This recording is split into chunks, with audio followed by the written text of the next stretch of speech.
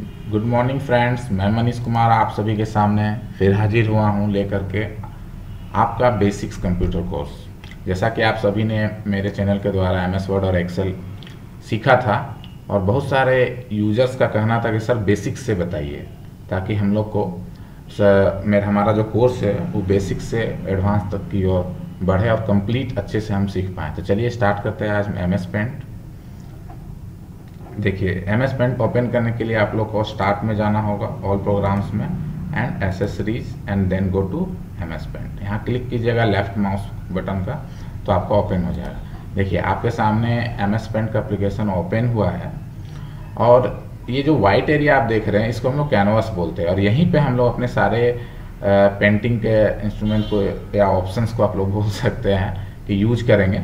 चलिए स्टार्ट करते हैं। तो सबसे पहले क्या है कि जब भी हम लोग पेंटिंग करते हैं तो पेंसिल इरेजर और ब्रशेज इस सब का बहुत इंपॉर्टेंस होता है। तो सबसे पहले मैं वही सिखाता हूँ आप लोगों को। देखिए, ये पेंसिल है। लेफ़्ट माउस का क्लिक कीजिएगा और लेफ़्ट क्लिक करते हुए, छोड़ना नहीं है, उसको ड्रॉ करेंगे हम लोग। देखिए। है ना? ये। ठीक है? ड्राइंग करते समय हम लोग को ये ध्यान रखना है कि कहीं पे भी थोड़ा बहुत छूटना नहीं चाहिए। नहीं तो जब आप कलर फील करेंगे तो क्या होगा कि कलर बाहर आ जाएगा पेज पे आ जाएगा। ठीक है? तो ये तो आपका पेंसिल्स था।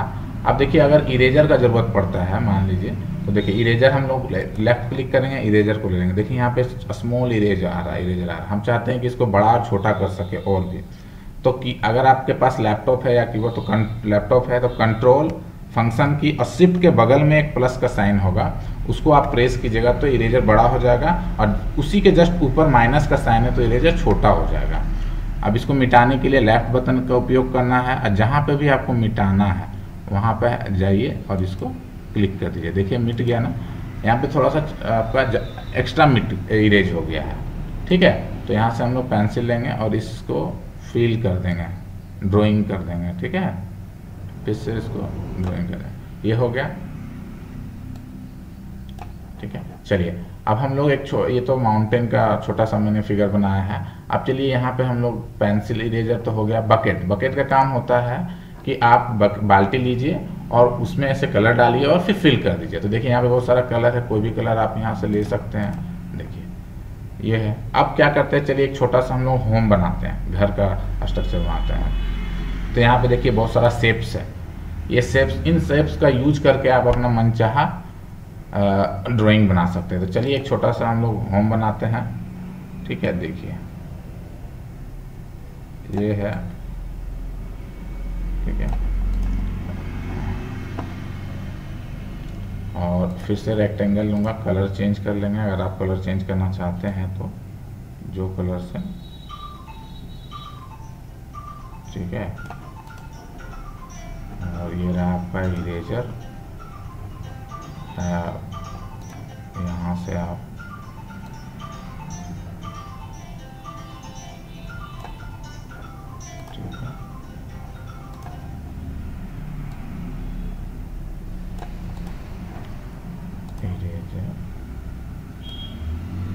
और इरेज कर देंगे।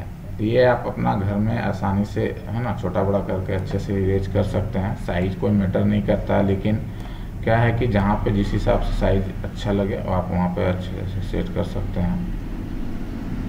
ठीक है? चलिए, ये है। आप चलिए फिर से हम ये अपने ड्राइंग को कंप्लीट करना स्टार्ट करते हैं इरेज करने के बाद। ये देखिए। ठीक है? यहाँ पे सीढ़ी बना देते हैं, घर के अंदर जाने के लिए। भाई, सीढ़ी तो चाहिए नहीं। है ना? ताकि और अच्छा लगे। हाँ। चलिए, अब धीरे धीरे करके हमें क्या करके फील करते हैं। जो आपको कलर अच्छा लगे रूफ का कलर जो अच्छा लगे, आप डालो। ठीक है? और फिर से यहाँ पे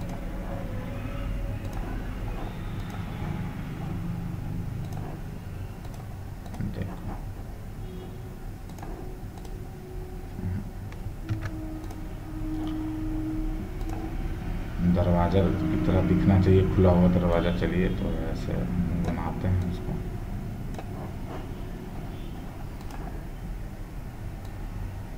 तो आज आपको जो है मैं सिर्फ़ होम के अंदर जो जो सारे ऑप्शन है ड्राइंग वाले ऑप्शन उसको बता रहा हूँ। और कुछ फ़ाइल वाले ऑप्शन को भी बताऊँगा। आप कंटिन्यू देखिए वीडियो को और लर्न करते रहिए। और घर में प्रैक्टिस ज़रूर कीजिएगा, ताकि आपका हाथ माउस पे बैठ जाए अच्छे से। ठीक है, ये। अब क्या करना है? ये तो छोटा सा ड्राइंग मैंने आपको बना के दिखा दिया। अब इसको हम, आप चाहते हैं कि नहीं सेव कर लो। जैसे हम मोबाइल में सेव करते हैं ना, उसी तरह से। चलिए तो ये आपका फ़ाइल मेन्यू है, जिसमें न्यू है। ठीक है न्यू का ये सब का बाद में हम सीखेंगे। पहले सेव एज में जाएँगे। ठीक है, और आपको जहाँ सेव करना है, जैसे पिक्चर्स में। जैसे मोबाइल में आप सेव करते हो, लोकेशन देते हो ना, उसी तरह से। ठीक है, फ़ाइल नेम देंगे यहाँ पे, मान लीजिए यहाँ पे होम। होम नाम मैंने दे दिया। और जैसे ही मैंने होम नाम दूँगा, देखिए यहाँ पे अनटाइटलेड दिखा रहा है। ठीक है, यहाँ पे इसका नाम चेंज हो जाएगा होम जो हम फ़ाइल का नाम दिए देखिए। चेंज हो गया ना? तो ये था आपका basics options of M S paint का। ठीक है नेक्स्ट क्लास में मैं आप सभी को ये बताऊँगा कि न्यू क्या होता है ओपन क्या होता है, इसको यूज़ कैसे करते हैं प्रिंट का set as a background properties क्या है, और भी सारे ऑप्शन के बारे में बताऊँगा। धन्यवाद आप सभी को मेरे वीडियो को देखने के लिए। आप लोग ज़्यादा से ज़्यादा इस वीडियो को सब्सक्राइब कीजिए शेयर कीजिए। अगर अच्छा लगे तो और आप लोग को एक टास्क देता हूँ, अपने घर में आप प्रैक्टिस कीजिए। और जो भी ड्राइंग आप बनाते हैं, उसका स्क्रीनशॉट मेरे कमेंट में डालिए। धन्यवाद। Thank you